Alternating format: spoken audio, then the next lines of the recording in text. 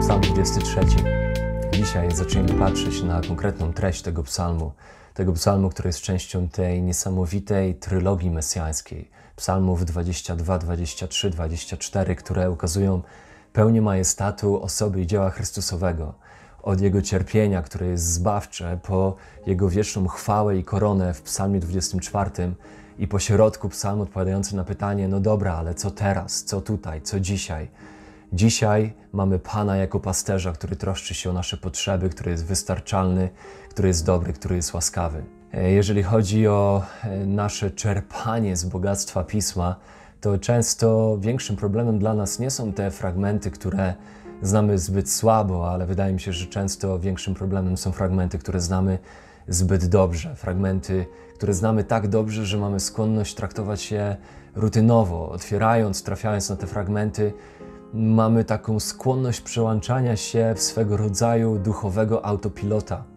Moją modlitwą jest, żeby spoglądanie w treść Psalmu 23, w te niesamowite, obiektywne prawdy, które mówią o Bogu i o tym, kim On jest dla swoich dzieci, co On czyni dla swoich dzieci, żeby obiektywność czy wspaniałość tych obiektywnych prawd przełożyła się na nasze subiektywne przywłaszczanie tych prawd w nasze serca, tak byśmy mogli spojrzeć na życie i wszystko, co w tym życiu może nas dotykać, z, przez filtr, przez pryzmat, z perspektywy tych prawd, tak żeby nasze serca były nimi faktycznie dotknięte.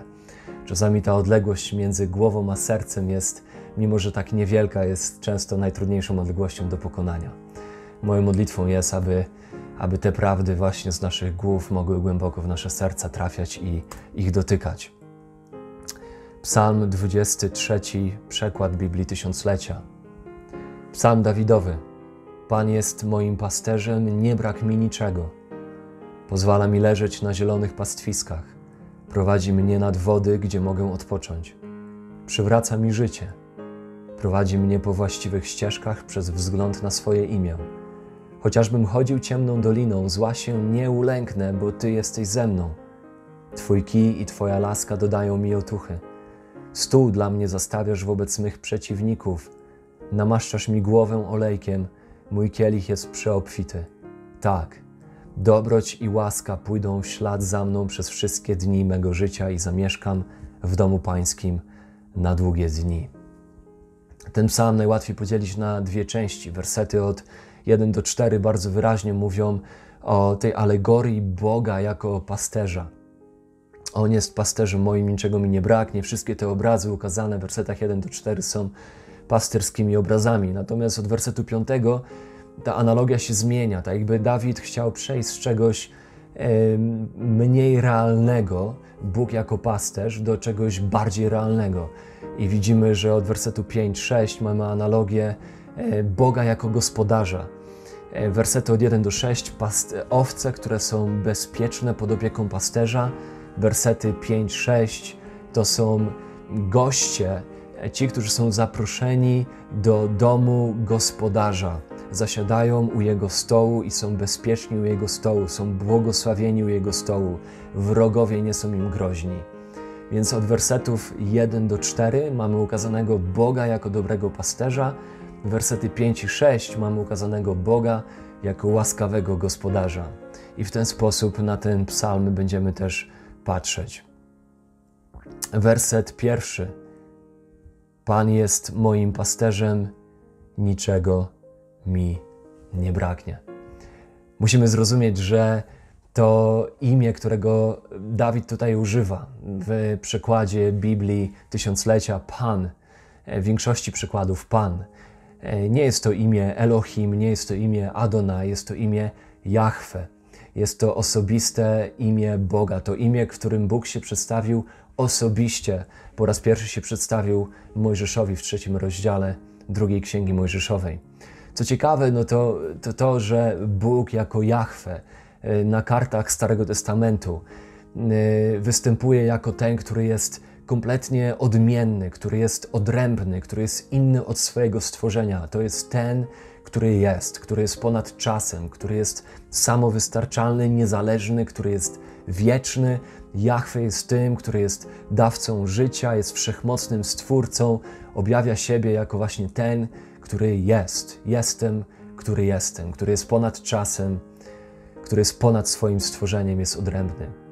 I co jeszcze ciekawsze, to to, że na przykład w trzecim rozdziale drugiej Mojżeszowej, kiedy Bóg po raz pierwszy się osobiście przedstawia jako Jahwe Mojżeszowi, to objawia mu się w płonącym krzewie i mówi do Mojżesza: Nie podchodź, to jest ziemia święta i zdejmij sandały ze stóp swoich. To spotkanie Mojżesza z Bogiem Jahwe, z Bogiem, który objawia się jako Bóg Jahwe, jest spotkanie z Bogiem, który e, ewidentnie jest odrębny, jest, mm, jest w pewien sposób groźny. Potem widzimy to jeszcze wyraźniej w drugiej Mojżeszowej, rozdział 19, wersety 17-24, kiedy widzimy spotkanie, zgromadzenie się Izraela u stóp góry Synaj. Tam Jahwe objawia się jako ten, który budzi grozę w swojej świętości, jako ten, który jest godzien czci, szacunku i bojaźni.